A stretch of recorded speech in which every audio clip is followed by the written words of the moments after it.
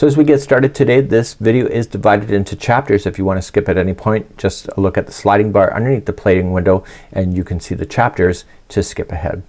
Welcome back to the Crochet Crowd. So my friends over at yarnspirations.com. Today we have the Water Park Waves crochet blanket. What makes this unique is how deep these waves are. They're really quite exaggerated and this is unlike anything that I've ever filmed before. So it's caught my interest so I think you may be interested and that's what we're going to be doing today. Using a six millimeter size J crochet hook we're going to have these multiples. At the time of filming there's a mistake right here. It says chain 264. It should be chain 260. This PDF will be updated in the future. So if you don't see that 264 and it's 260 it means that it's been changed. So we have multiples of 32 plus 4. So you will chain 1 to 32 and then 1 to 32, 1 to 32 and when you're happy with it then you can just add 4 and that will work or you can chain the 260. Just keep in mind that whenever you do a chain it'll look like this but as soon as you get in that first row it'll seriously droop down down like this and therefore the distance that it uh, that it was will be seriously reduced. So you want to keep an eye out for that. Page 2 is the fun page and that's the diagram. Let's take a look at that. In page number two is the diagram and if you know me I love these things. So you're seeing two multiples of 32. So 32 and 32 plus the extra 4 that's needed for the balance and that's where we're going to begin our journey today. One row coming back always this way you'll notice that it's trebles going to doubles to halves to singles to halves to doubles to trebles and it automatically just sinks on down to create that sweeping motion and then you'll come back up and do the same thing. So double to halves, singles, halves, doubles and then back to the treble here. So it creates this exaggerated look which is really quite eye pleasing for me. So I'm gonna go all the way across. On the return rows, on the even rows, two, four, six, eight, who do you appreciate? Those are all automatically gonna be double crochets. So you don't have to worry about reducing the sizing of the stitching. So it's really quite neat. So I need you to start and we're going to begin. This is using uh, suggesting uh, Red Heart Heat Wave. Just for fun I'm using Bernat Softee Chunky Twist because I have it in my collection and I want to see what it's gonna look like and I'll show you how to do this pattern and we will also include how to change the colors. The pom-poms we have tutorials available for that if that's something that you wish to do. So let's begin our journey. So let's begin our journey with the slip knot this is classified as an easy level. I would agree on that as well. And so you're going to chain in either 260 stitches or 260 chains or you can do the multiples of 32 plus 4. So I'm going to do the multiples of 32 plus 4. I'm going to do two multiples of 32 and then I'll add 4 at the end. So either way you want to go just 260 or multiples of 32 plus 4. So 1, 2, 3, four, five and just do whatever one you want and I'll be right back to show you row, row number one. So I'm coming up all the way to the end. I've done two multiples of 34 and then I'm gonna add four for the balance. So one, two, three, four. If you chain 260 as is suggested in the pattern please do not do that extra four. It's already been counted in that. So you're gonna see a long chain but once we get moving on this you're gonna see that the chain is gonna seriously dip down like this. So the width that you believe it is now is gonna be seriously reduced. Let's begin row number one. So I'll try to take my time in going across so if it's too slow for you I do apologize and if it's too fast I don't mean to be but I'll try my best.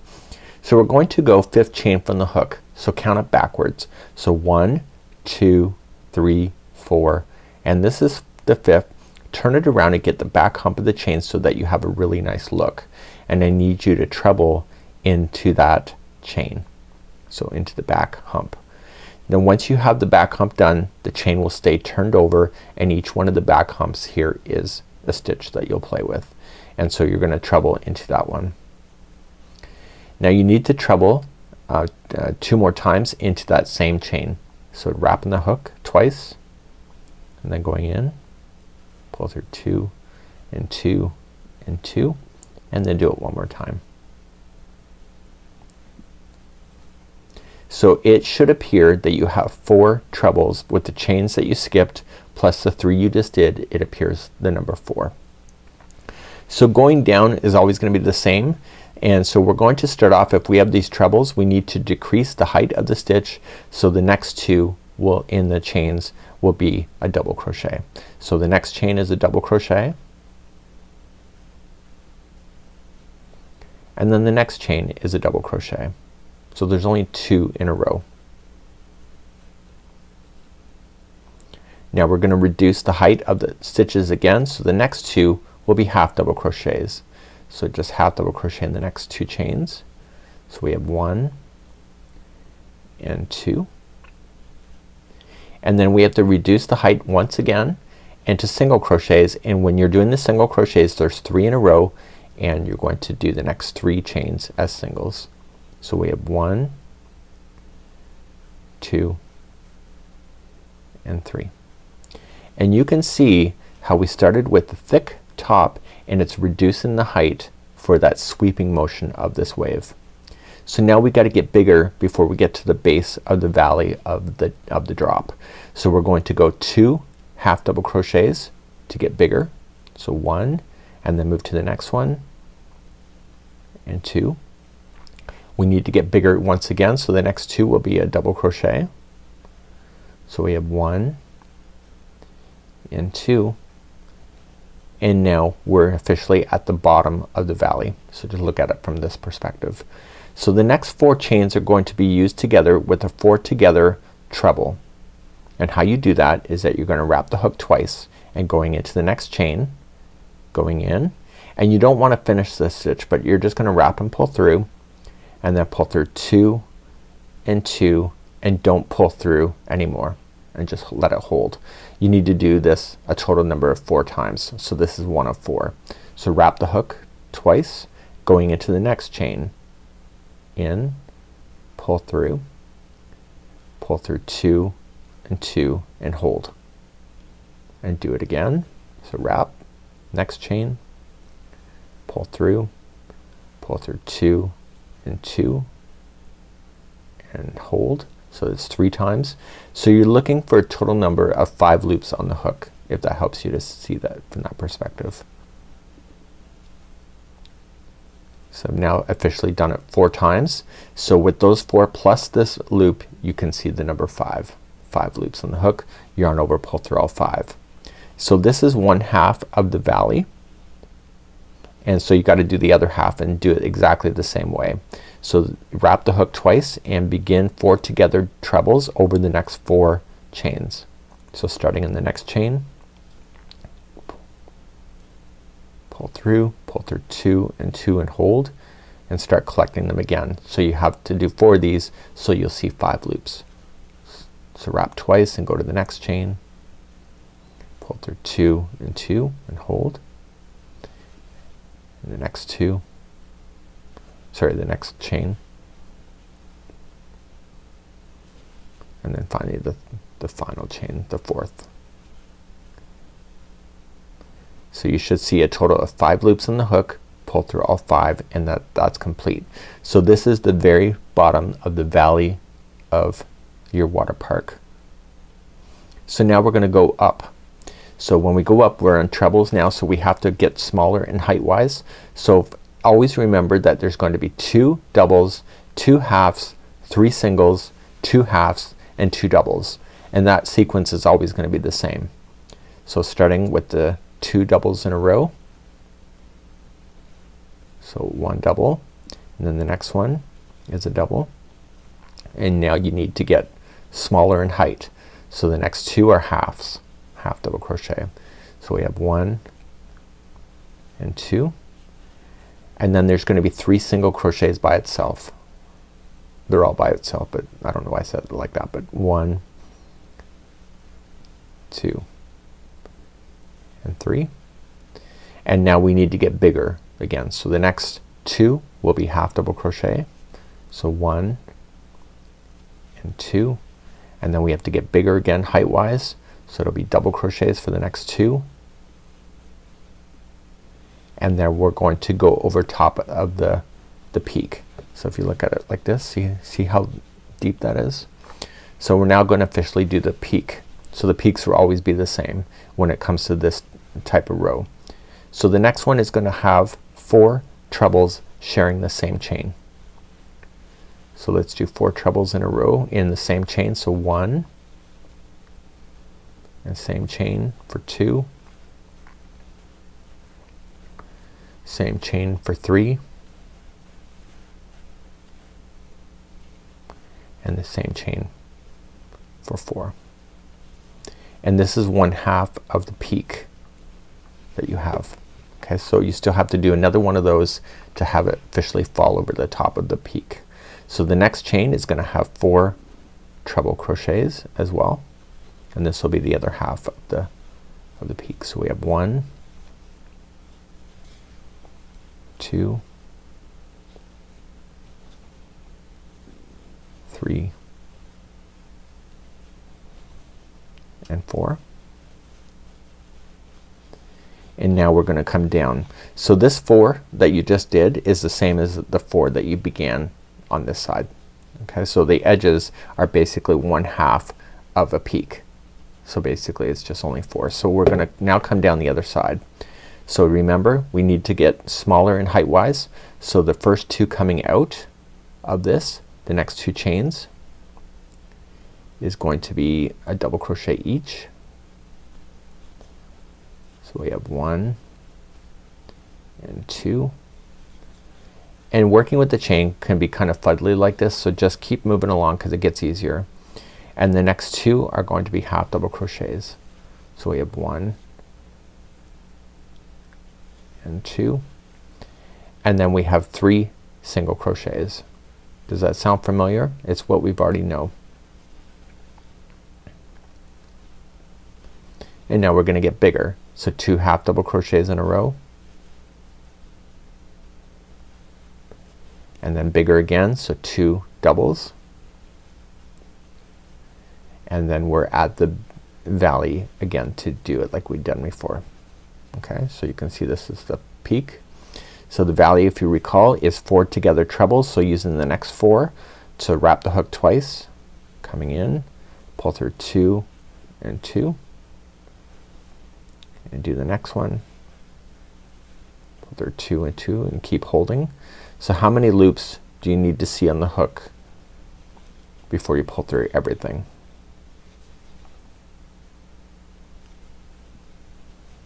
The number is five.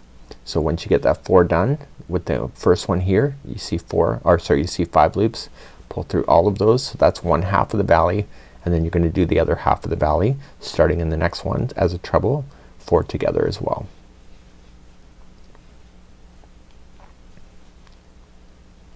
So you're just gonna go up and down all the way across your chain and you'll see these water waves just appearing right before your eyes with the up and down motions that you have. So once you see your five loops pull through everything and then start going up. So the first two is a double crochet.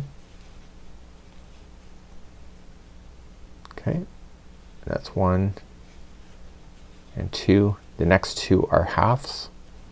So we have one and two. The next three are singles. So we have one, two, and three. Okay, the next two are halves.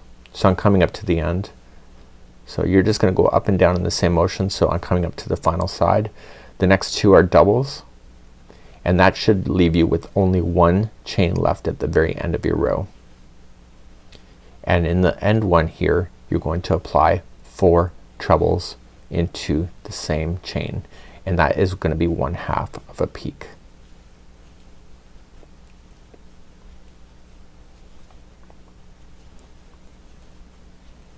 And so this is what row one would look like. So at the end of this you want to keep the color going. So just turn it and now you can really see the up and down motion. So if you want to lay it down like this very exaggerated and you will see that the shaping will get more refined the more that you do. Let's begin row number two. Let's begin row number two which will be the same every time you hit it. So rows two, four, six, eight, etc. So we're going to begin in chaining three which will count as your double crochet. So instead of changing the height of the stitches each stitch is going to be a double crochet. What you have to worry about though is in the valleys there's gonna be four together double crochets and in the tops you'll have four double crochets that share the same stitches. Let's begin by and we've already chained three and in the same one that comes out of we need to double crochet three more times. So we have one, two, and three. So if you recall whenever we did the peak there was always four trebles that did that. So there's four doubles here to keep that peak being the same. And so you'll see that happening throughout this row. The next 11 will always be a double crochet. So let's count those up together. So we have one, two, three, four, five, six, seven, eight, nine, ten, and 11. And what I want you to notice is this. Do you see this one here? Do you see that this is your first four together and then this is the second one? The last stitch of going down is going to be the one right here. I want you to visually look at that right here right where I'm pinching with my thumb. So this one one two three the last one should be appearing here. So we're going to do a four together double crochet. So we're just gonna wrap the hook going into the next one pull through pull through two and hold it and keep on doing that until you get five loops onto the hook and you're progressing one stitch at a time and your very last one should be right here. And that will keep you balanced. And so you have your five. So pull through all five and then start the next four. So the next four that it will share starts this one right here. Okay so wrap and in pull through pull through two and hold it and do the next until you see a total of five loops on the hook. Okay, there's my five. So pull through everything. So this will keep everything lined up perfectly at the base. The next 11 will be just a double crochet. So we went down 11 on this side. So we're gonna go up 11 on the other side which is right here. So we're gonna count 11 in a row. So we have one, two, three, four,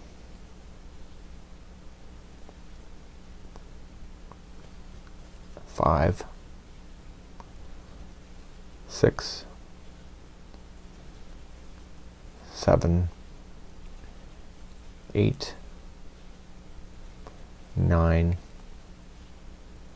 ten, and eleven and I want to point out something for you here. So if you went 11 up, do you see here there was four together is here and there's four together on this side.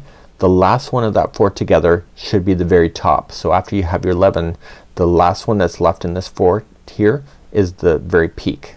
So I know that I'm in the right stitch going to the next one. So this will be four double crochets here. So we have one, two, three, and four. So that's one half of the peak and now we're gonna come down the other side. So to come down the other side this grouping of four it's the first one should have four double crochets in it. So I'm trying to give you some visual uh, cues to let you know where you stand in the peaks and the valleys so that you can understand exactly where they are. So there's four double crochets in that one. So we're now going to go down 11. So we'll count those out together. So we have one, two, three, four, five, six, seven, eight, nine, ten, and eleven and let's determine if we're at the right stitch or not. So following it along one, two, three, four. See this is exactly where you need to end. I want to give you that visual cue. It's right here. So the next four are four together double crochets. So we'll keep on collecting until we get five loops on the hook.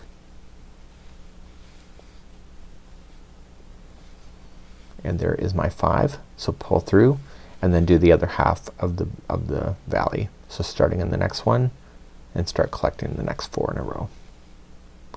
And you're gonna go up and down all the way to the end and I'm approaching the end of my row already but you will be going up and down all the way to the end pull through all five once you see it and then count up your 11. So let's come to the end of this row. So just put me on pause until you're at the end. So we're gonna come up the final 11. So one,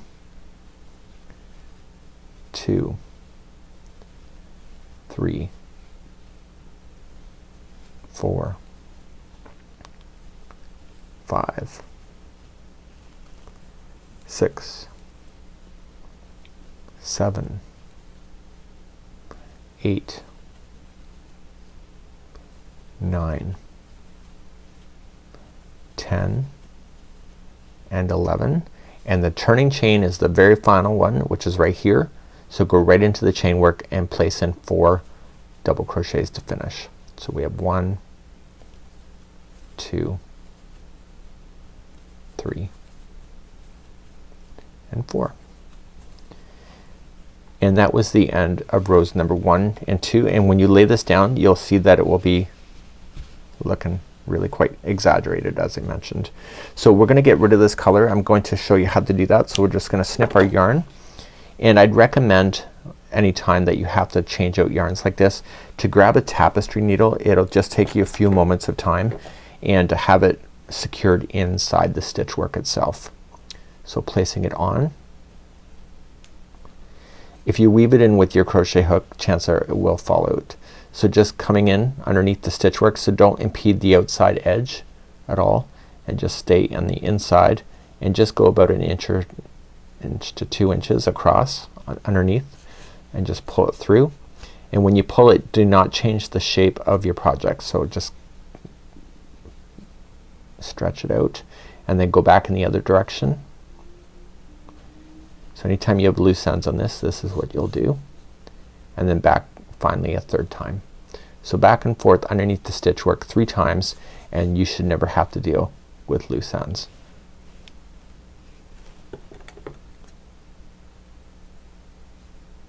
And then you can trim and then turn your work and we're gonna begin rows number three and four which will be the repeat of this entire so at this time you can see that these waves are very very deep and they sweep around. So when you apply the next color you're going to see more of the shaping happening and uh, you're gonna see it stabilize and you have your ends that are gonna grow up equally on both sides and then go up and down. So grabbing your new yarn that you wanna play with and we're going to start row number three and we're gonna start right where we left off. So we just fastened off here. So turn it, get ready and then just going into the first stitch here and then pull through and then you can begin. So I'll bring you in a little closer and we'll begin row number three. So right where we are we have it attached. You're gonna go over top of the straggler so it hides it underneath and you're gonna chain four. So one, two, three, and four. So that's classified as one of the trebles of four that you need to make. In the same one where you did the join I need you to apply three more trebles in there and when you do that just put the straggler down on top so it gets stuck out underneath the stitches. So we're, we're gonna say this is one,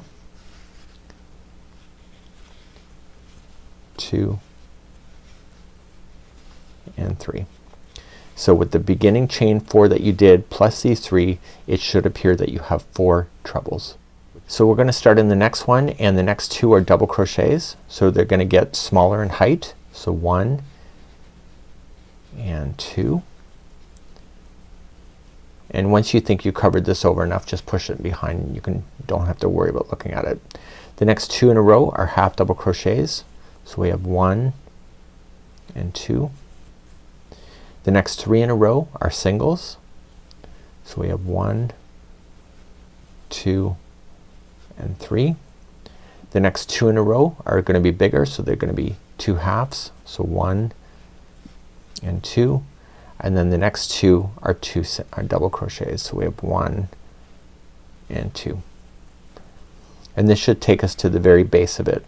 See this right here? This is the last one of the grouping of four. So the four together trebles. I want you to be able to identify that because it'll be easier for you to see that. So one, two, three, and four. So wrap in the hook twice, do your four together treble like you already have done before and start collecting until you see five loops on your hook.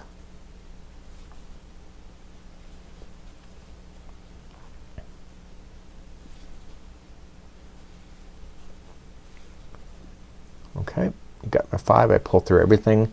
So that's one half of the valley. So I start in the very next one and start collecting the next four. And it's a four together treble.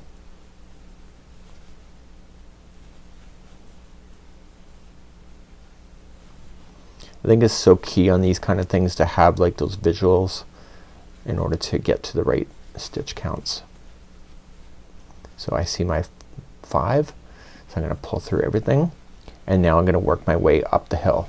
So the first two have to be a double crochet because it's gonna be a slightly smaller stitch than the treble. So one and two. Oh that was it's gotta be double crochet. And then we're going to do two halves. So we're gonna do one and two and then three singles. So we have one, two, and three. So we need to get taller again. So two halves in a row. So we have one and two and then two double crochets. So one and two and this should take us to the peak. So see this grouping of four? The last one is empty which tells us that's the peak. It's the right one. So in that one there there's going to be four trebles. So we have one, two, three, and four. So that's one half of the peak going over. So the next one coming out has to be the other side. So there has to be four trebles into that one. So we have one, two, three,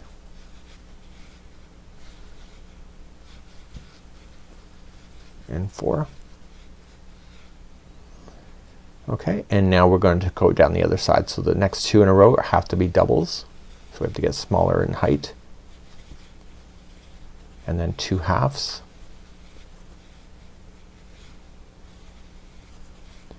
and then three singles.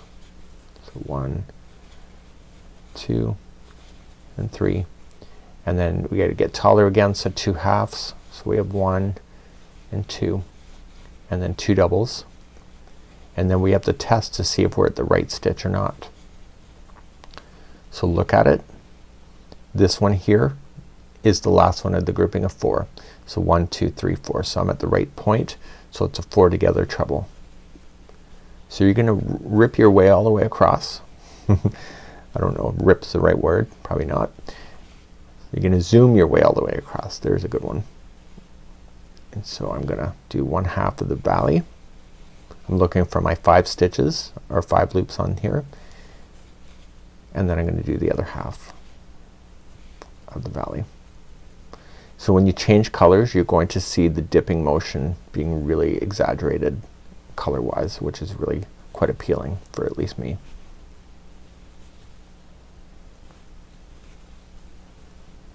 Okay, five loops.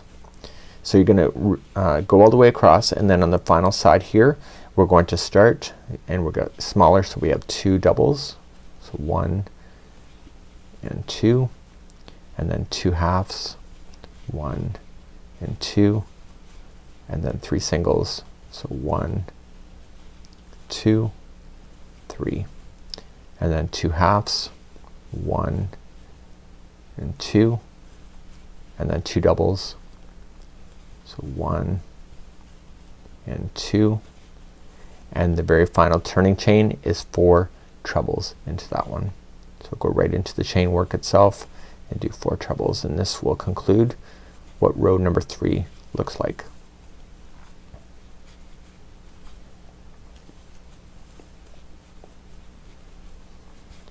If at any point you think you're going uh, off, make sure you can always adjust things if you have to by faking stitches or adding stitches where it doesn't need to be added in order to get yourself back on the right track. So turning your work and let's take a look at it so you can kind of really get an idea of the coloring now that you see and these will get more flatter as the more that you do. So we're going to repeat row number four which is the same as row number two just to make sure you got it straight. Just to make sure that you got it row number four is the same as row number two but we will repeat once again. So chain up three that counts as your first double crochet and double crochet uh, three more times in the same one. So one, two, and three. And how many double crochets in a row before you get to the valley? Right here. Do you know how many? It was 11.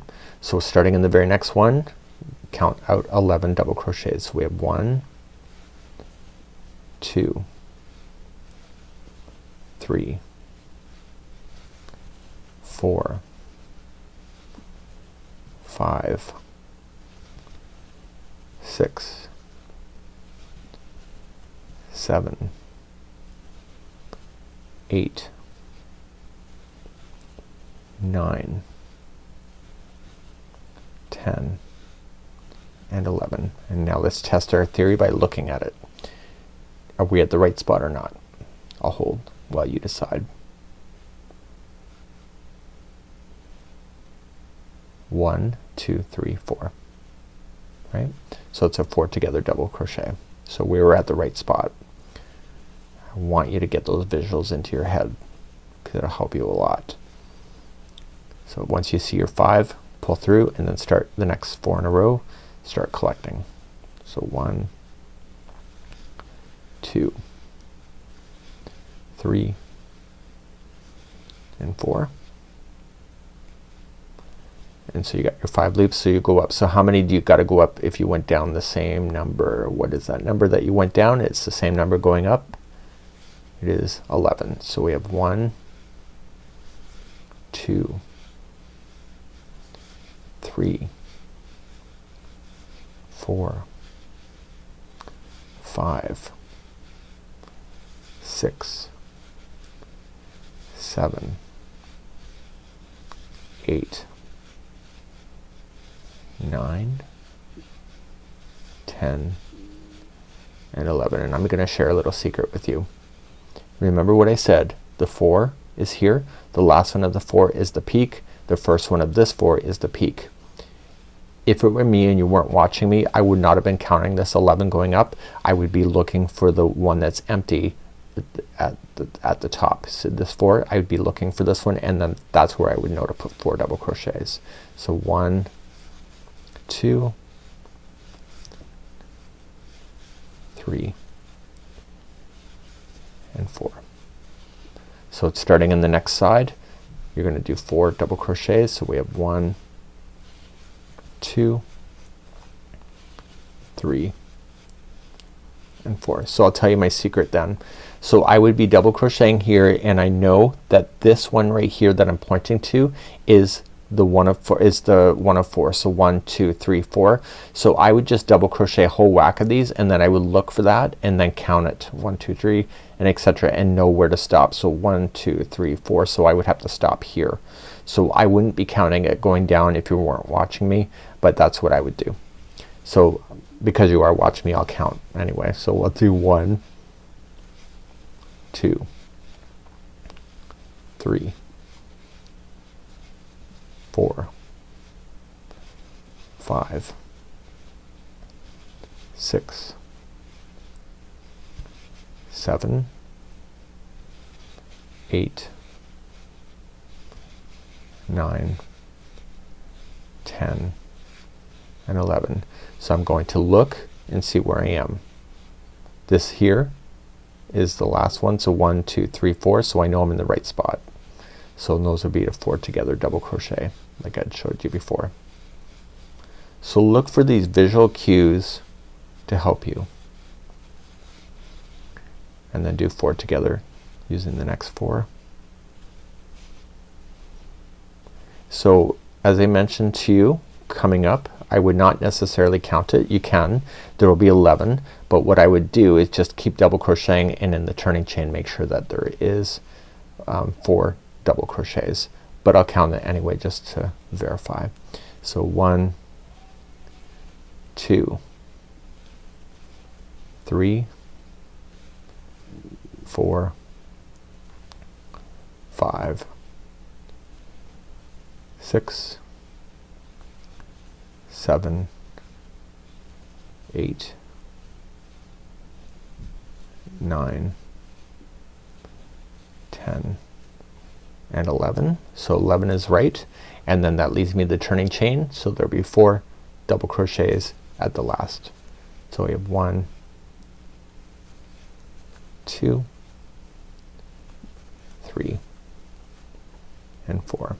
So the pattern suggests to change the color which you already know how to do at this point and so you will see yourself then going up and down and this is a really exaggerated wave and I think it's so neat and you'll see this happening and it's fun and fabulous. So this is the W. It's the Water Park Waves Crochet Blanket and this is by yarnspirations.com. I hope that you enjoy and I really enjoyed this pattern and I have a scarf coming in the future of this particular design but just using one chevron and you'll see that coming up in the future but there's some slight changes but this is the premise of that. Have a great day. We hope to see you again real soon right here in the Crochet Crowd as well as my friends at yarnspirations.com. Bye bye.